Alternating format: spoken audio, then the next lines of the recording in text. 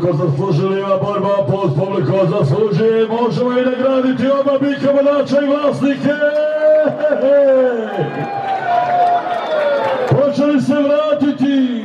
Hoće li biti povratak otpisani?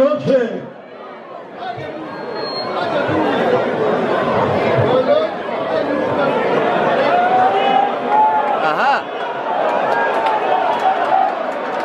Neka, neka, neka, neka, neka dok, dok kaže sudija kraj, neka sine. Nemojte.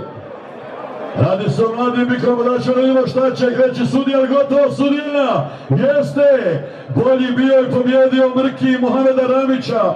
Idemo peta borba, tako je to. Peti par.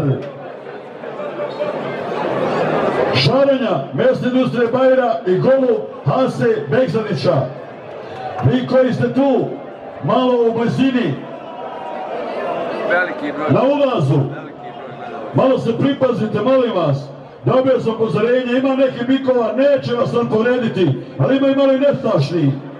Tako da malo budite oprezni. Sa leve, tu na ulazu.